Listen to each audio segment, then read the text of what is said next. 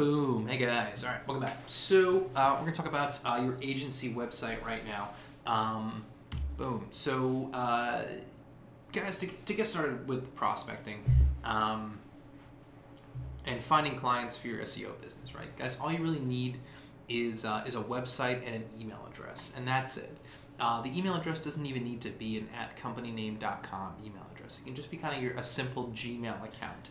Um, it could even be your personal Gmail account. Those actually convert pretty well. Um, surprisingly, I know, but uh, you know, it's kind of it's something about that personal touch shows that you're not like a professional marketer trying to be super slick. You know, um, you know. So the, the, the first thing that you guys need to think about for uh, for building up your agency website.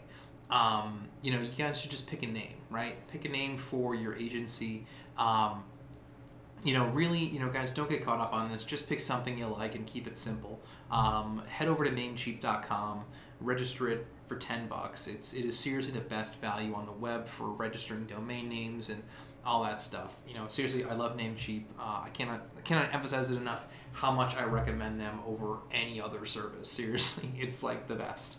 Um, always recommend them. Uh, and then the next thing, guys, you know, you want to build out your website.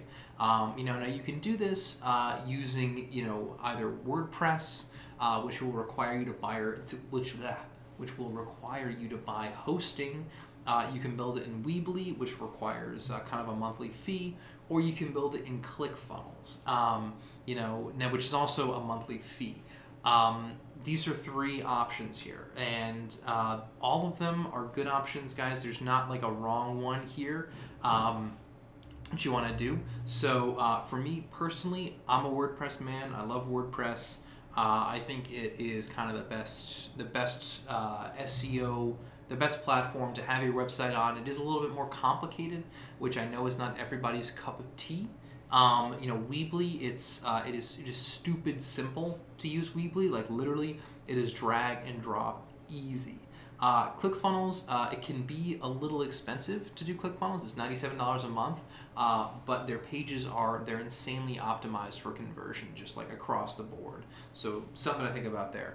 Um, we're going to shoot a couple videos uh, coming up here next, uh, going over each of the methods here for building a website. So um, if you're not sure which one you want to do, check out these videos, see how difficult it looks for you. Um, and then uh, you know pick the one you want. Uh, ask any questions in the group guys if you're not sure if things are not clear uh, and we'll get them cleared up for you all right? Um, so let's keep it going here